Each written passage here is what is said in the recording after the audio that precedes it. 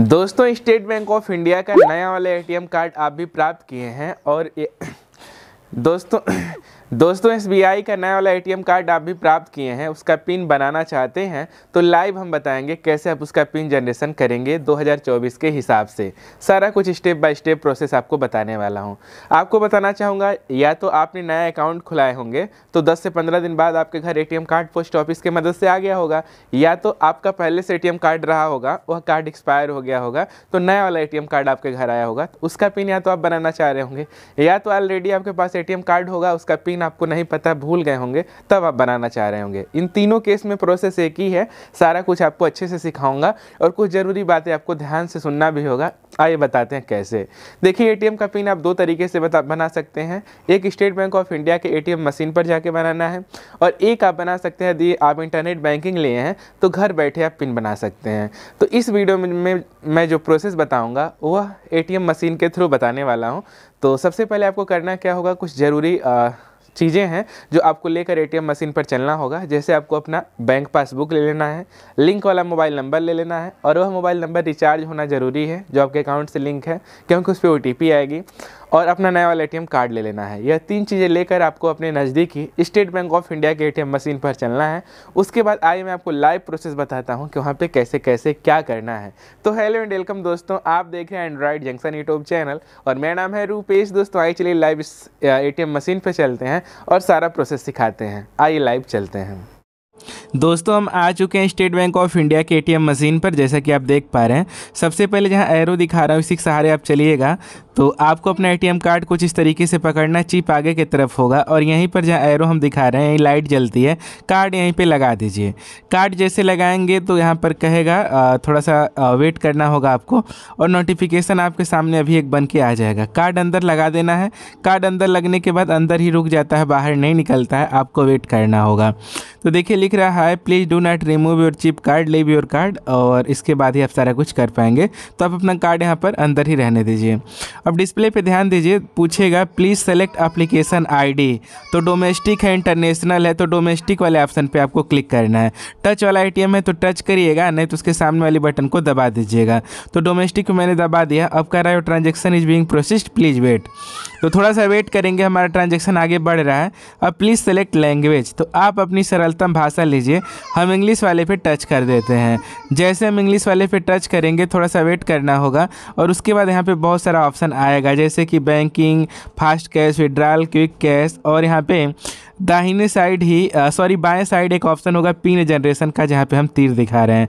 तो pin generation वाले option पर ही आपको टैब कर देना है। जैसे टैब करेंगे उस पर तो इस तरह से एक ऑप्शन आएगा आपके सामने please enter your account number तो मैंने बोला था ना आपसे पासबुक लेकर जाने के लिए तो यहाँ पर अपना खाता संख्या भर दीजिएगा और थोड़ा जल्दी जल्दी खाता संख्या भरिएगा।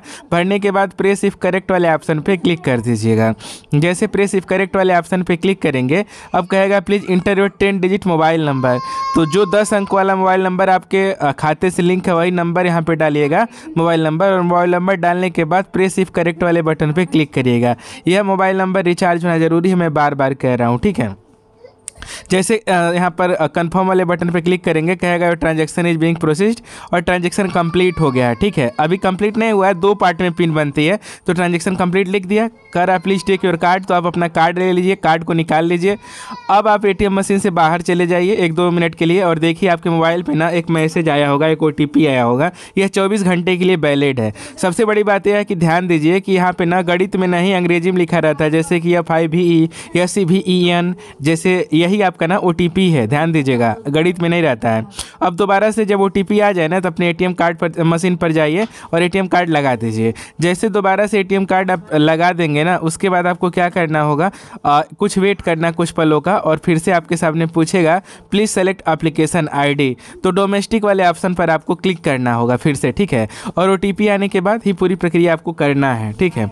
तो डोमेस्टिक पे मैंने क्लिक कर दिया। डोमेस्टिक पे क्लिक करने के बाद यहाँ पे कहेगा your transaction is being process please wait wait करना है। और फिर से कहेगा प्लीज़ सेलेक्ट लैंग्वेज तो आपको अपनी भाषा लेना है। हम इंग्लिश वाली भाषा पे क्लिक कर देते हैं। जैसे हम इंग्लिश वाला भाषा पे क्लिक करेंगे तो एक नया सा ऑप्शन फिर से दोबारा से खुलकर आ जाने वाला है। अब कहेगा प्लीज़ सेलेक्ट ट्रांजेक्शन तो इस बार आपको यहाँ पे बैंकिंग लिखा हुआ होगा। पिन जनरेशन के ऊपर बैंकिंग है ना? बैंकिंग पे क्लिक करिए। जैसे आप बैंकिंग पे क्लिक करेंगे तो बहुत सारा ऑप्शन देखने को मिलेगा। प्लीज़ सेलेक्ट ट्रांजेक्शन तो यहाँ पे कई ऑप्शन आपको देखने को मिलेगा। बैलेंस इंक्वायरी मिनी स्टेटमेंट यहीं पर दाहिने साइड पर एक ऑप्शन होगा आखिरी में, जहाँ पे तीर हम दिखा रहे हैं पिन चेंज का।